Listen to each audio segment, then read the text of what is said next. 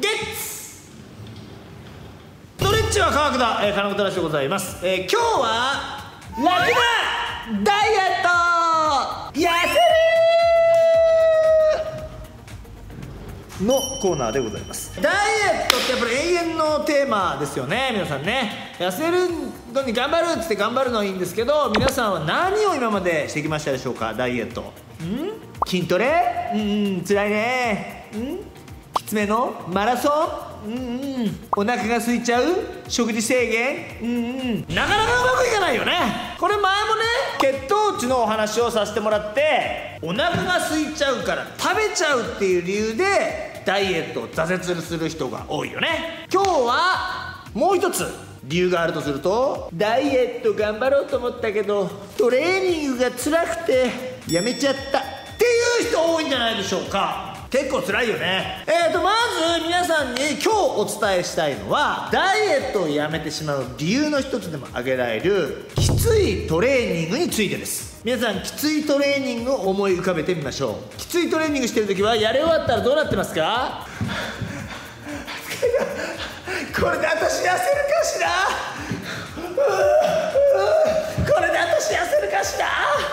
その時のあなたの心拍数は何拍ぐらいいってるかな？おそらく140拍から多ければ160拍ぐらいいっちゃうんじゃないでしょうか。そのような心拍数が高いトレーニング要はきついトレーニングだよね。きついトレーニングは痩せない。うー？きついトレーニングすれば痩せんじゃねえのって思っててちょっとでも階段登っちゃう。タタタタタ。上り坂タタタダッシュしちゃう。バクバクバクバク。140以上の心拍数。ハイブだハイブだですそれ。全く痩せませんそれ。今日皆さんにお伝えしたいのは実は人間の体がしっかりエネルギーを代謝して体が引き締まっていく。要は痩せるってことだよね。痩せるには決まった心拍数があります。えー、何それって言いますよね。それを皆さんにお伝えしていきましょう。この人の中国両然おおこれ何よ出過ぎだねなんかね。これがこのように引き締まってます。これもですね実は皆さんにお伝えしたいのは心拍数が高くなるようなっていうきついトレーニングは痩せないんですね。これを知っていただきたいですから痩せるために必要になってくるのは実は心拍数。心拍数っていうのはちょっとこちらに言いますがご自分の220引く年齢。これが基本的な計算の仕方です。でこれのかける0.6から0.7まあいろんな分岐がありますけどもその数値を出していただいてその心拍数で運動するのがいいとされておりますが僕らが長年やってきて人によってね同じ30歳でもすごいなんか体弱ってる人もいればバリバリのスポーツアスリートみたいな人もいるじゃないですか。差がある。年齢では体力は統一できないという考えから我々が皆さんに運動強度でおすすめしたいのは心拍120から130の間 HR ハートレートと言いますね。120から130の間この130拍以上の心拍で運動することはダイエットに効果がありませんこれ。逆に言って120以下の心拍数の運動をすることもこれも効果がありません。要は120から130拍の間っていうので心拍計ってあるわけ。心拍計これね。ドン！心拍計。こういうのを胸に巻いて腕時計に飛ばして自分が何拍かって分かるから。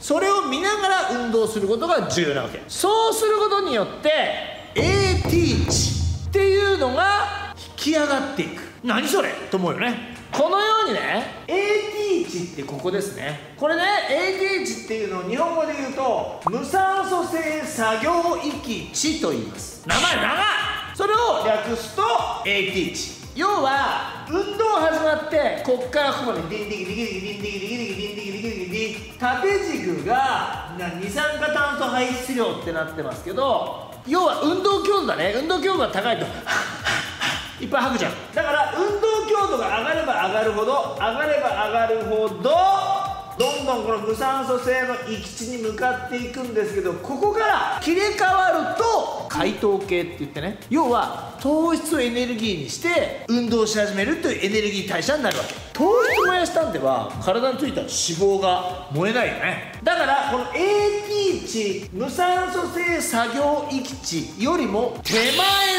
運動することが有酸素運動として有効なわけ。要は脂肪体についてる脂肪エネルギーね。脂肪エネルギーというのを燃やすというような体になっていくからどんどんどんどん体についてる脂肪を油分にするから全然疲れないんだね。要するに全然疲れないって言ってるこの運動強度が心拍120から130なんだね。ですからその心拍数を守って運動することがこの無酸素性作業域地の手前で運動ができるので皆さんの体は脂肪がもうどんどんどんどんどんどんどんどんどんどんどんどんどんどんどんどんどん巻いていく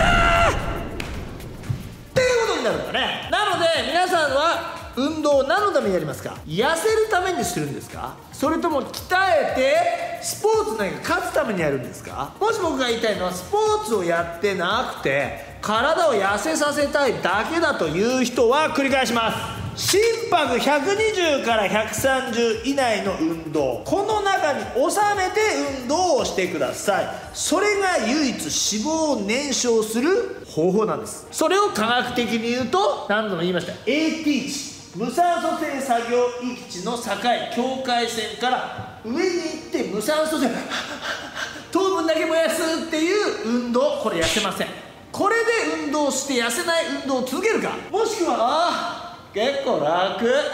ちょっとなんか気持ちいいなこの運動っていう運動は有酸素運動。これは心拍が120から130なのでエネルギーが脂肪です。体についている余分な太ってるものは脂肪ですよね。その脂肪をどんどんどんどん燃やしてエネルギーにして運動するのはこここここの位置の中で運動してくださいというのが実はダイエットの基本でした。これねだからこの心拍計を使って何度も見せるけどこれねドン。これを胸にダッと巻いてで腕時計飛ばして120から130のこの心拍数の中で運動するっていう運動はもうね各 3S で教えてますから。これがやっぱりね1回教わるとねもうずっとできるようになっちゃう。だから各自、えー、皆さん 3S で検索してもらってご近所にあったら 3S に担当のトレーナーにしっかり聞いて疲れないダイエット疲れないで引き締まるトレーニングをやってみてください。もう辛いことすれば絶対私痩せるんだから